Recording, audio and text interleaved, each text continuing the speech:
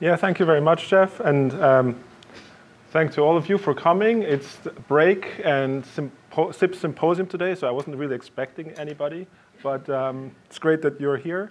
Um, the other thing is that uh, I really want to present something that is has some uh, relation to breeding, because obviously this is the breeding department. And um, the NextGen Cassava project has an important basis here at Cornell. And so my fear is a little bit that I'm not really showing you anything new because a lot of, you know, a lot of, uh, a lot of people have talked about cassava before. And um, some of you may also realize that I've stolen some slides from Jean-Luc and, and so on. So um, apologies for that. um, so so uh, many things should be very familiar to you already. So there will not be uh, big surprises, I guess. So my talk is uh, entitled um, From Data to Improve Crops, uh, the role of databases. And of course, people have stored data in breeding for a long, long time. Uh, traditionally, it was done uh, in books like this. Uh, this is actually, I think, a photo from Peter Kulakow's office in um, IITA. And these are actual cassava breeding records. And um, obviously, you know, if you have your data in this form, that has a lot of advantages. Uh, for example, you don't need electricity to read it. You know, that can be a really important factor. Or the resolution is pretty good, you know, so it's very user-friendly. Stuff like that. But, you know, if you want to make a backup, it's hard. If you want to uh, make any calculations on the data, very hard. So that's why people moved on, and the next thing they moved to is Excel. And Excel has a lot of advantages. Uh, you now need a computer and electricity and stuff like that. Um, it's easier to back up. You can send it to a friend. But it's really not so ideal when you want to combine data. For example, you know, you have your Excel sheets from last year and the year before. Well, how are you going to look at both data? You have to find that Excel sheet first and then you might have to combine them into one sheet to make it easy to analyze. but your columns might not match up. You know, there might be different things in the columns. You paste columns and you mess up everything. So, so there, there's a lot of issues with Excel. With data, data management in Excel um, is, is difficult. So I would argue that in traditional breeding, um, obviously, people have um, regarded the genome as a, as a black box. And the black box is kind of an engineering term. And it means that you know the behavior of a system, but you cannot look inside and see how it actually works. Okay? And then in traditional breeding, breeders have learned really how the system behaves and have learned to exploit that, but they could not um, look inside because the tools were not available. Obviously, they've become available only uh, in the past 10 to 20 years. And that's exactly what happened. So um, we have entered the genome era quite a long time ago uh, with, uh, for those who remember Arabidopsis, uh, in 2000 it came out, the genome. And since then, the rice and maize and all these important crops have been sequenced after Arabidopsis. And in the last five years, I guess we got genome sequences for everything. Okay? So uh, how can we use this genome sequence um, to improve breeding and how can we look inside the box and use our understanding of the box inside uh, to improve breeding. And so it turns out that when you do, uh, when you have these genome sequences, these reference sequences, that actually doesn't help you all that much because you don't really know uh, what the different sequences do, right? So what you really need is, um, I mean, it's a good foundation, but what you really need now is diversity data. And you need to know, uh, you know, what is the diversity out there, uh, genetically, but also phenotypically, right? And, and so you need to do, what you need to do is you need to collect a large amount of, uh, of genetic uh, variation using maybe resequencing, maybe that's becoming really possible today, uh, or at least high, high density genotyping. And those, that creates data sets that are very large. And so now I think at this point, when you move to that point, I don't think you want to do anything in Excel because you don't want to do 100,000 markers per clone in Excel. But anyway, so these data sets can be very large. And at this point, I think you will want, what you will want is um, a really nice um, database that people can access from anywhere in the world and that you know, does calculations for you and predictions and uh, correlations and you know, makes your breeding data available for, for last year and the last maybe 50 years so that you have everything immediately uh, at your fingertips, all the information.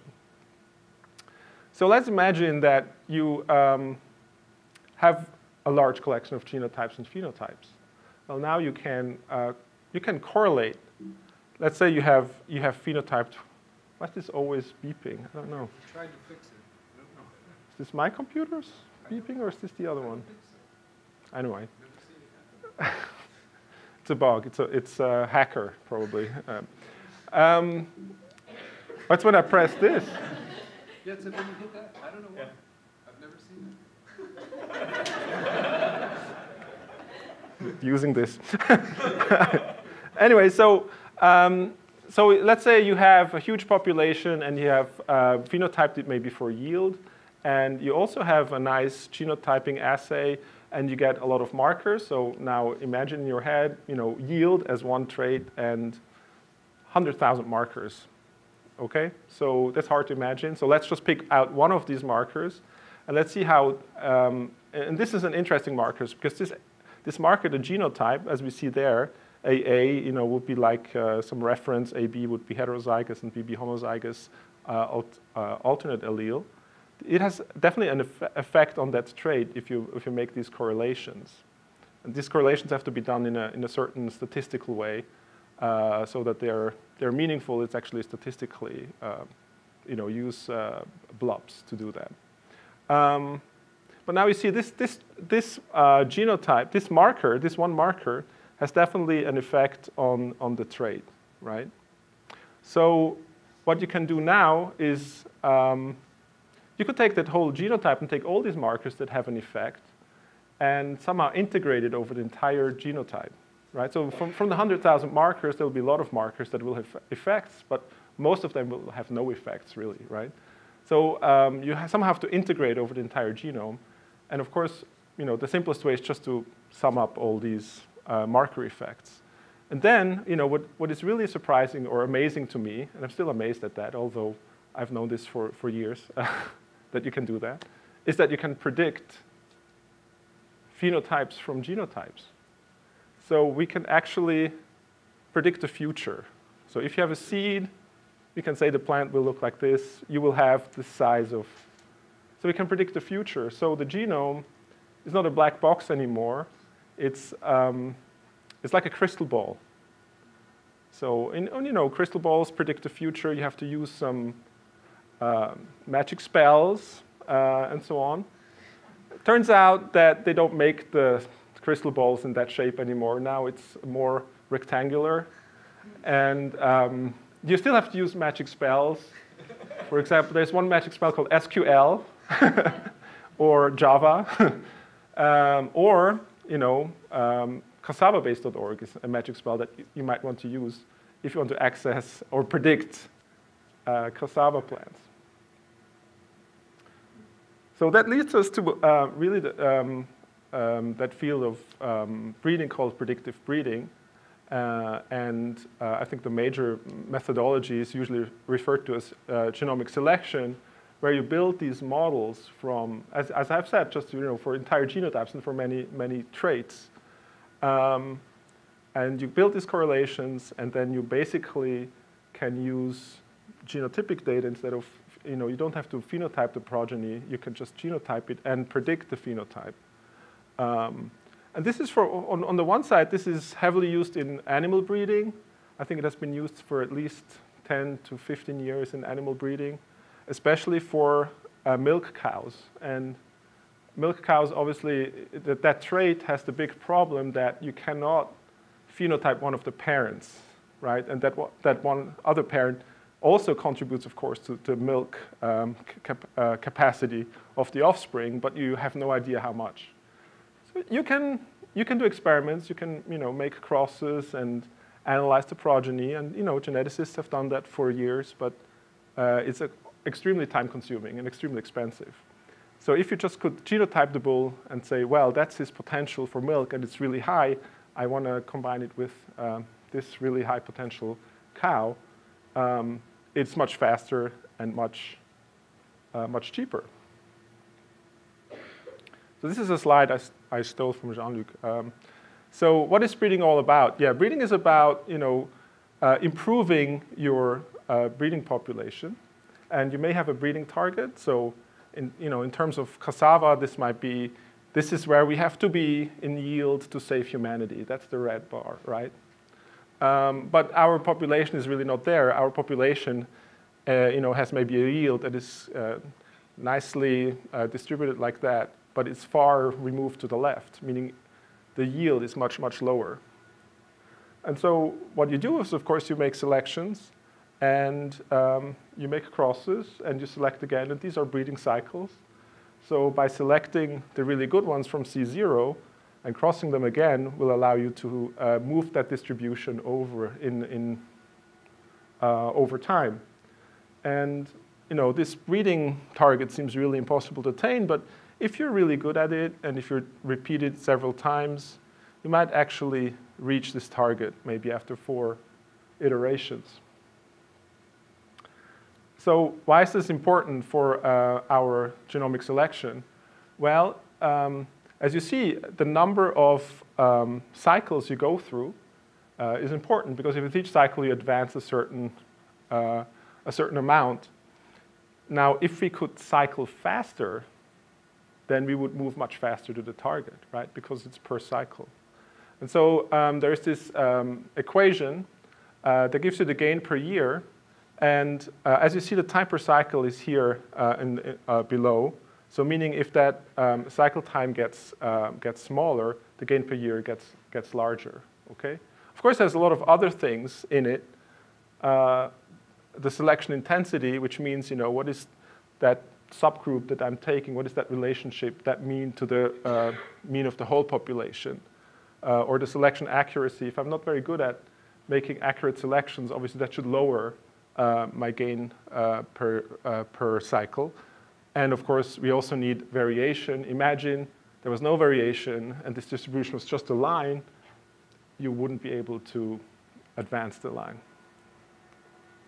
So the key thing is that these genomic selection um, methods allow you to, to uh, cycle much faster in plants. Because we don't, we don't have the milk problem, but we, we want to be faster, okay? And so how this is implemented, that's also a slide that I think I've seen 10 times already here. So I'm not sure if you're bored when I show this uh, slide again, but I think it's an important slide because it really illustrates how genomic selection is implemented in, um, in breeding programs and usually have a model training cycle where you create really the data that you use for uh, the correlations and the line development cycle where you really produce uh, you know, your, um, your crosses and you select by um, the genotype and the model that you have developed in the training cycle. So we have applied this, um, this methodology in the, in the NextGen Cassava project, and this is a very large uh, project. Um, and so you know, we do a lot of uh, genotyping and phenotyping, and we then build these models and try to really uh, go through the uh, breeding program um, using genomic selection. The, uh, the project is quite large and has other aspects to it. Um, like Tim Setter is uh, working on the improvement of flowering. Cassava is um, is famous for not setting, you know, not having a lot of flowers. So it's difficult to do genetics if you don't have flowers. Uh, another important component is uh, gender and gender preferences. Um, and Hale Tufan uh, is, is responsible for that part. Um, but of course, it's also a huge data management challenge, and that's really the part where um, you know, the work of my lab comes in. Um, you have more information about the project at nextgencassava.org. So I guess everybody knows what cassava is at this point. Has, has anybody not heard about cassava? Everybody. Nobody's heard about cassava. okay, I'll go over the slide then. Cassava is a tropical and subtropical plant, um, and it's grown for the starchy roots. Uh, it is native to South America, but was uh, brought by the Portuguese to Africa about four, 500 years ago, and is now a really important uh, food crop uh, for you know, hundreds of millions of people. You know, you see different, different you know, values for that number, but it is a huge number, okay? It's hundreds of millions. Uh, it's clonally propagated, and what, what has always fascinated me about, um, about it is actually toxic. So it ac accumulates this uh, uh, toxic cyanogenic uh, glucosides, linamarin, for example, that's this structure. And so you have to process it before consumption. And so we created this uh, database called CassavaBase, and it's available at, at cassavabase.org. Um, recently, we have applied the same database model to other plants, and one of them is uh, banana. Um, these projects are not as, uh, as ambitious, maybe, at this point as cassava. Cassava is by far the most advanced project, where we really try to do genomic selection. These projects are more about setting up the stage so that you could do that uh, in these projects. And all of these other plants you're working with, they have little problems. Um, cassava is actually fairly straightforward. It doesn't flower too well. But apart from that, it's a, it's a diploid genome. Um, it's, it's, uh, we have a pretty good ge reference genome. Um, so we are trying to apply uh, to, to uh, create a breeders database about banana, banana is, uh, is a very complicated way of breeding. I don't know if you're familiar with banana breeding. Does anybody understand banana breeding? Nobody. Okay. Um, I'm not, I'm, I don't include myself in that set either because it's really, really complicated. Um, so what we are talking about is not uh, dessert bananas like the Cavendish banana that you buy in the store here. That's um, a different type of, uh, uh it's actually biologically really the same because they're all the same species. Um, but it's a different line and it's a clonal line. So all the bananas that are grown in the world is basically one, one identical clone. And that's of course problematic as you may have heard that um, there is this disease called Panama disease that attacks all the, all the bananas, uh, the Cavendish variety. So matoke bananas and chari bananas that we, are work, that we work with that grow in the East uh, African highland um, and in Tanzania, they are resistant to Panama disease. They're, it's not a problem for them. So that's what we're working with. Um, the Matoke bananas um, are, are from Uganda, and they are triploid, as is Cavendish, is also triploid. Uh, and they have different uh, genome structures. Uh, interestingly, the Mchare bananas from Tanzania, they're diploid. Um, and so anyway, you can imagine that you have, if you have triploidy in your breeding scheme, that things can get very complicated. Okay, so that's just, I'm just saying that. um, another um, plant we have applied the database to is, is yam. And yam uh, actually is also interesting because yam is, um, is actually not one, one single species. There are a lot of different species of yam that are being used for breeding. Um, yam is actually a monocot uh, and has nothing to do with uh, sweet potato. And in the US, if you go to the store and buy a yam, sometimes it's a sweet potato. Sometimes these terms, these names are used interchangeably, but in terms of botany, uh, the two couldn't be further apart almost. Um, so they're just look, the, the, they look very similar in, in terms of their root or their, um, yeah. Another interesting factoid is dioecious, so they're actually male and female um, plants. And this is a collaboration with, uh, with IITA, with uh, Robert Asiedu and, and, and colleagues. Then to make things confusing, we also work on sweet potato, which is often confused with yam, as you remember.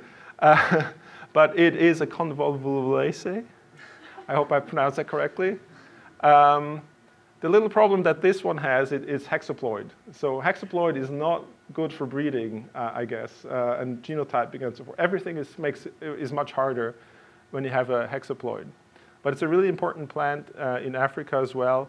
Uh, the, the PIs, Craig Yencho uh, in, CSU, And uh, Ted Carey is um, a breeder in Ghana that is participating. There are lots of other breeders involved. Uh, and we also co collaborate with the Sasha project. Um, and the uh, PIs of the Sasha project just won the uh, uh, World Food Prize. So that's, that was a good, good thing. So, so we have all these different databases, and really what, what, what I want to show you is, uh, is um, a phylogeny of databases. So we are creating these databases, and it, it all goes back to this uh, tomato database that Jeff mentioned in the introduction. Uh, we created this database, and then off this database, we created cassava base a few years ago. And then from this database, split off a sweet potato base, musa base, and yam base, so the, th the three I just mentioned.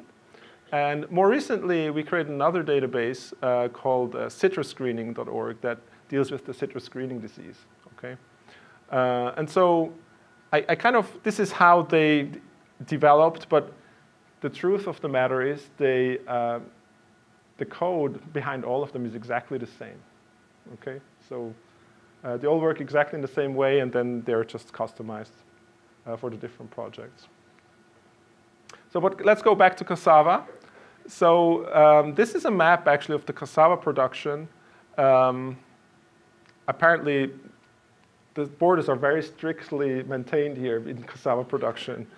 I assume we have no data for this, but uh, um, Anyway, so, so the darker this, the, the, the pixels are, the more cassava is grown. And um, this is Nigeria. Uh, so the, the, two of the very dark areas here, uh, one is Nigeria and one is um, Uganda. And so we work with uh, two centers in Nigeria, IITA and NRCRI, and a center in uh, Uganda, which is uh, NACRI. Um, in the context of the next-gen cassava project. So, in, um, so what we have tried to do, we have seen that you know, speeding up the cycle is really the major way that uh, genomic selection could help us in plants. And so cassava traditionally had a cycle that goes from three, three to five years, okay? And so here, uh, at least in IITA, they were very ambitious and they wanted to implement a one-year cycle. Um, so we get a, about a speed up of, of five, three to five times. Um, and so these are the cycles that have actually been completed. So cycle zero is just the historical uh, population, essentially. Also 750 clones that were very, very, you know, were, were, selected, handpicked to be good clones. Um, they were um, um, phenotyped and genotyped, and then they were, uh, you know, uh, population was uh, crossed, selected and crossed. 2,500 seedlings were, were genotyped. Um, those were you know, predicted again, uh, crossed, selected, and so forth. And this was done until cycle three. Uh, currently, we're still at cycle three. Now we're in a kind of in a two-year phase for some reason. but all this has, has been done, and so it's, it's actually possible to have a one-year cycle using genomic selection in cassava. And if the protocol works well, you would imagine that you get you know, a five times, three to five times better um, yield increase. So this is just to show you uh, what, what this looks like in, in the field. This is the cycle two clones that was in 2014. And um, so these, these uh, are about a, a, few weeks old. Um, so the, the field looks very organized. But of course, they grow quite large. And not, if you have seen a, a cassava field uh, with older plants on it, um, it's very difficult to go, get, go through it because it's very, the plants go, grow very large. So anyway, so how does this relate to database and phenotyping? Well, um, if, you, if you want to use a database, you have to have certain um, prerequisites that you have to meet. For example, uh, if you have a large project and a lot of people do phenotyping in this project, you have to have very well standardized um, trait dictionaries. Uh, you have to have, uh, you know, everybody has to agree on trait naming. Everybody has to measure all the tra traits in exactly the same way. Uh, everybody has to use the same units or the same scales. And I found that this is one of the hardest part of the project. You know, programming a website is, is hard maybe, but it's doable. But getting everybody to agree on, on the same trait name is really, really hard. Or the same, you know, the same measurement because everybody has their favorite little way to measure things. Uh, and so this kind of, this part of the, the, the agreement is, is, is really difficult sometimes to reach. But uh, in cassava, it was relatively easy because actually the cassava uh, breeders had started a long time ago um, to do this, uh, to have trait dictionaries. And so their trait dictionary was actually fairly, fairly um, um, standardized already. Um, we're working now with other plants, and, and it's much, much more difficult. But for cassava, for example, we got all the data from uh, uh, in South America. Um, and that data went back to 1974, I think.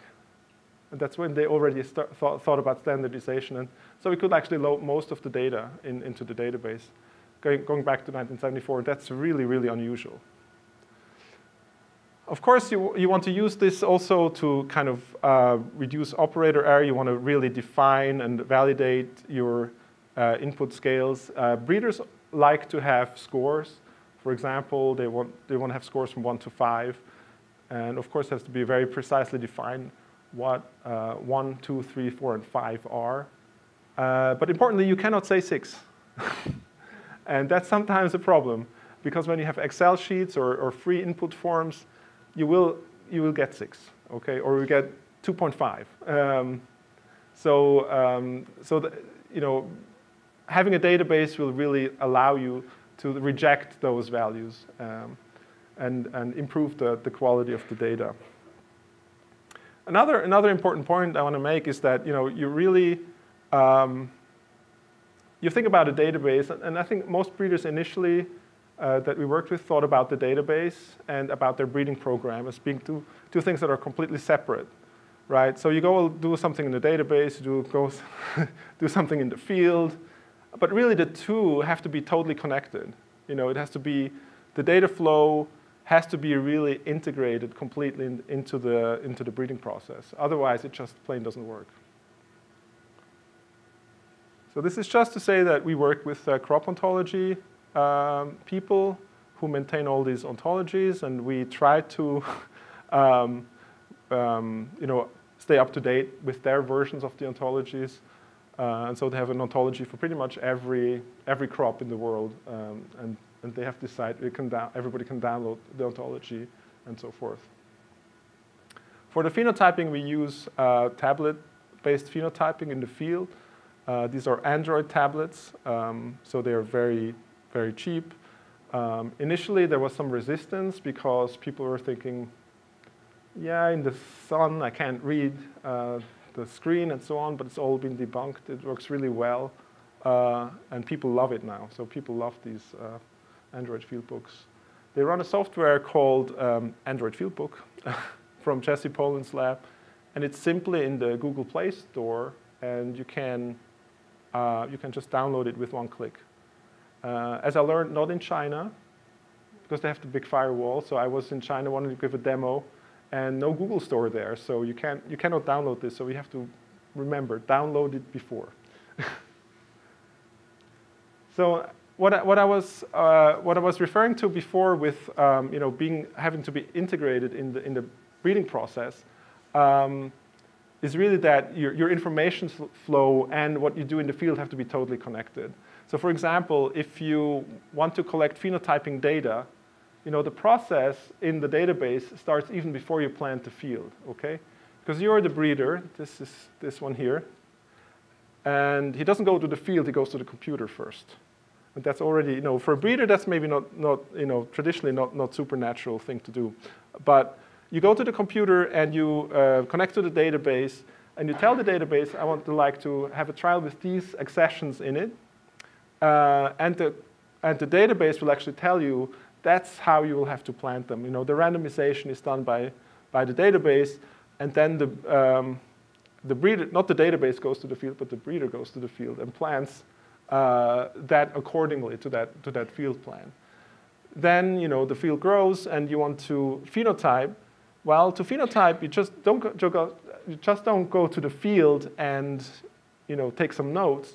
What you have to do is you have to, uh, you want to load it back into the database, so the database has to know what you're looking at. So uh, what, what we're doing in our system, we can export data about the trial and about the field layout to the uh, Android field book. You go phenotyping, and then you upload that data again. It's very, very important that this be followed. Uh, otherwise, there's just chaos in the end.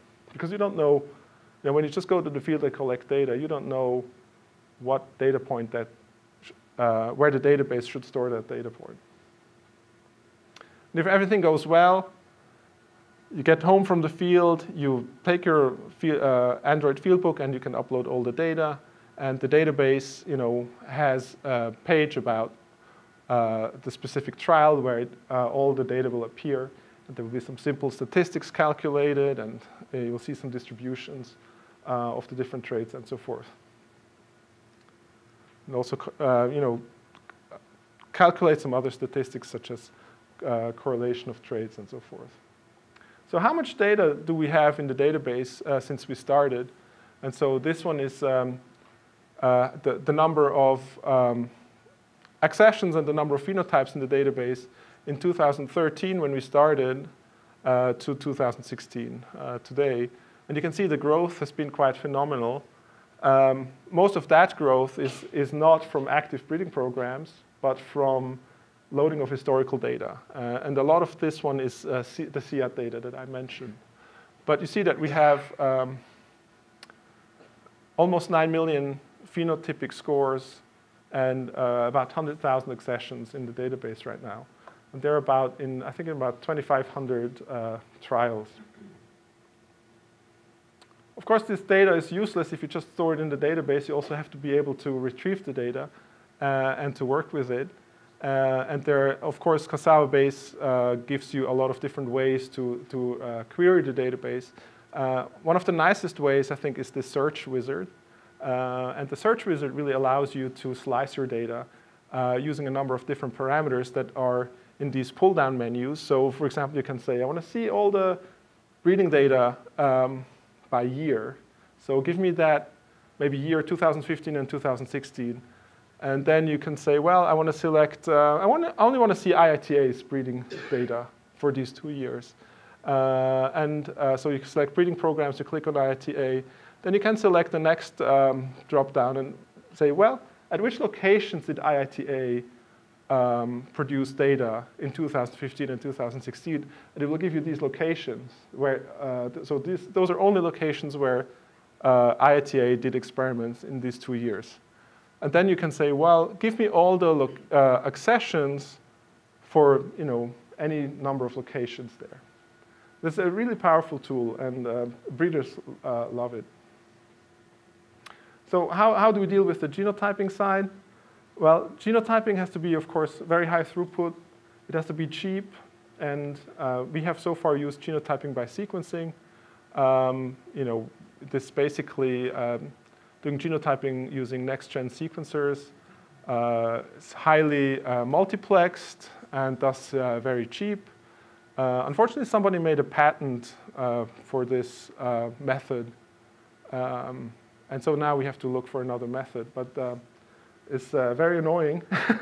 um, but it's a, it's a, you know, the, the method has really worked um, really well. also, when you, when you do genotyping, you need um, you need to integrate uh, the genotyping pipeline with the breeding program. Um, the real challenge is that you, you know, when you do phenotype-based breeding, uh, you don't really uh, have to be so careful with maybe um, the data management because you always look at the plant. But when you do genotyping, the genotype is somewhere else and your phenotype is somewhere else. So you need to really connect. The, the two connect only in the database, okay? So that's why it's really important that this connection be made and be made correctly. So um, storing genotypes is actually a very voluminous uh, uh, data. Very, it's, it's, it's quite a challenge. If you think about the raw data, we have in the order of 20,000 accessions now in the database. And if you look at how, many, how much read data that is, that's about six terabytes of read data. Obviously, you don't want to query that directly. So we have uh, pipelines that we run, and we process this um, essentially to, um, so that each, each uh, marker is, is one data point. Um, but even so, um, we get about, from that data, we get about 100,000 markers uh, per genotype. And so if you have 20,000 accessions, that's about uh, 2 billion data points. That's a quite a fair number of data points. So you need uh, special techniques for, for rapidly querying all that data. And so we have implemented our own way at present to, to um, query that, that, that data. It works very well, but we think it will not scale beyond maybe a few hundred thousand genotypes. And we really want something that, in the end, that is scalable to millions of, data uh, of genotypes. And so there, a new project started at Cornell and at BTI called GOBii that will implement a, a very large-scale database that should, you know, scale to tens or hundreds of millions of genotypes. And the, the um, URL is there, gobiiproject.org. So how do you, how do you make the prediction of uh, the phenotypes in the database? Well, we have a tool called uh, SolGS, and that does all the work for you. You can go there and build models. You can go there and predict uh, genotype, um, breeding values. Uh, in the end, you, you, know, you can use several, several traits, and in the end, it will allow you to build a, a selection index and um, sort, sort by selection index and uh, use that to uh, advance your breeding cycle. So how does it work? Well, um, so if you start a SolGS tool, it will give you some information about your data set, the distribution of your phenotypic values. Uh, it will give you a PCA of population structure so that you can see uh, that everything is okay with your input data. Uh, then it builds the model, and when it builds the model, it gives you some uh, data about the model. For example, it, it calculates uh, model accuracy um, by uh, subsegmenting the, the sets and, and uh, calculating the, the model and, and, and uh, you know, looking at predictions and observations. Uh, and then it will also give you the major marker effects. And then you can use these models and you know, feed the tool with the genotype data, uh, which is already in the database. So you just need to say, you know, this line, this line, and this line in a list, and uh, it will calculate the selection index. And again, you know, you can use that to rank your germplasm. So initially, we just wanted to build a database that has phenotypic and genotypic data in it, and you use SolGS to make the predictions, but it turns out that that's uh, not a good idea. You really have to run your entire program through a database because you don't want your information in different places. So um, we built a lot of tools uh, that you can manage the breeding program right through Cassava base, and it allows you things such as you know, keeping track of pedigrees, crosses, trials and nurseries, and the selection of progeny. So you know, there's a pedigree management tool. Every um, line has uh, you know, its pedigree displayed in a graphical way. You can manipulate this pedigree. You can remove or add um, parents and so forth and edit that. This is how it looks like on the detail page. Uh, you can create a cross in the database. So you tell the database, make a cross. Uh, you know, there are different cross methods that you can select and it will create um, progeny and, and other metadata about the cross uh, in the database that you can then use directly um, uh, in, in, for further experiments in the database. Of course, you can also create a trial, as already mentioned. Um, we keep all the metadata about the trial, the location, the year, um, the planting dates. Uh, um, you can select the design type, and the design type will um, you know, then inform the, uh, the randomization that the tool will make. And we'll store that uh, in the database. And now when you want to phenotype, you know, you have um, you have the metadata in the database to associate the phenotypes to the correct location in the database. We'll also soon have this uh, tool. Uh, we are kind of working more on analytical tools, uh, and we, we will create a tool to, to better compare trials. I just want to briefly uh, mention um, about the implementation of Cassava Base. So this is an uh, enterprise-grade uh, database. Um, it's based on a Postgres SQL um, data, relational database framework.